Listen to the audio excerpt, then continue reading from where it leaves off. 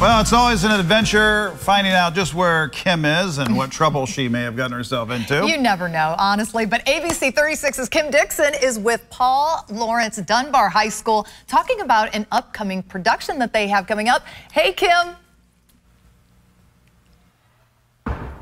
Hey, Doug and Lisa, you know, you never know where I'm going to end up, and I'm always getting into trouble. But today, I'm trying to be good. I'm here with Lindsay Sovkaplus, who is a teacher and the director of Little Shop of Horrors here at Paul Laurence Dunbar High School. Hey, Lindsay! Hey, thanks for coming to see us. Oh, thank you so much for letting me join you. We are on the set right now.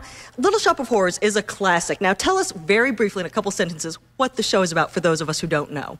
Absolutely. So this is a beautiful musical, epic music. There's a down and out little uh, florist, and he's in love with his coworker, and he finds this really special plant, and that's pretty much all I'm going to tell you because you're going to have to come see. Uh oh, I think I might know where this is going, and we've got a little danger going on here. But something that's really cool about this production is you have students involved in all aspects. Tell me a little bit about that. We do. We have students everywhere. Student leadership as an assistant director, assistant choreographer, musical director, lighting design, sound design, designing the set, building the set, everything, you name it. Oh my gosh, and that includes the people on stage too as well. Now, we don't always see students in these kinds of positions, designing and choreographing and working with the director as an assistant.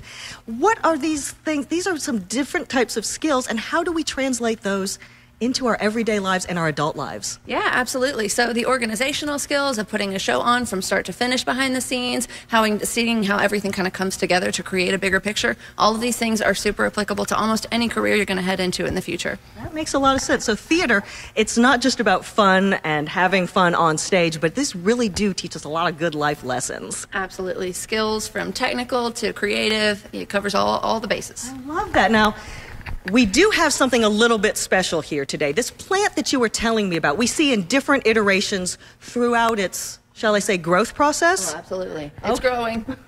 so let's meet the plant, okay? So this is Audrey 2.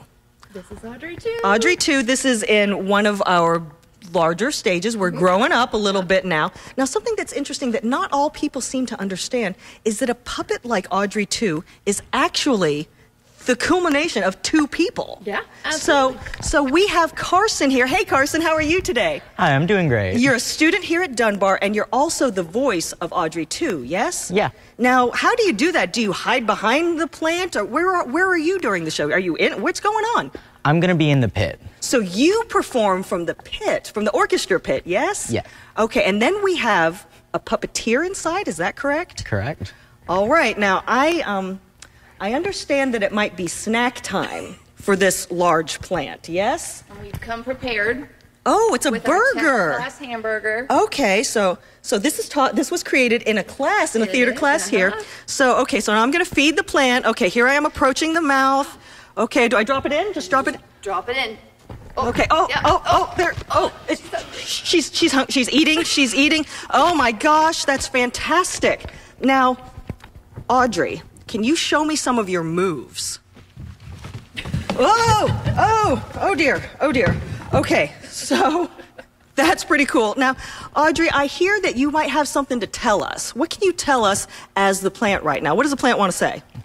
If I can talk and I can move, who's to say I can't do anything I want? oh my gosh, that's amazing. So come on, y'all, tell us how we can come and see amazing plant and this wonderful musical Little Shop of Horrors. How do we how do we come and see the show? Yeah, come see us at Paul Laurence Dunbar next weekend, the 21st, 22nd, and 23rd. We've got four public show times. We'd love to see you. How do we get tickets? You go to pldtheater.ludus.com. Wonderful. Thank you so much, Lindsay. Thank you so much, Carson. Thank you so much, Isaiah, in there. I really appreciate it. I'm going to give you a little kiss, okay? Thank you all so much. And now we're going to go back to Doug and Lisa in the studio. You don't want to stand too close to Audrey there when she's uh, when she's feeling a little peckish.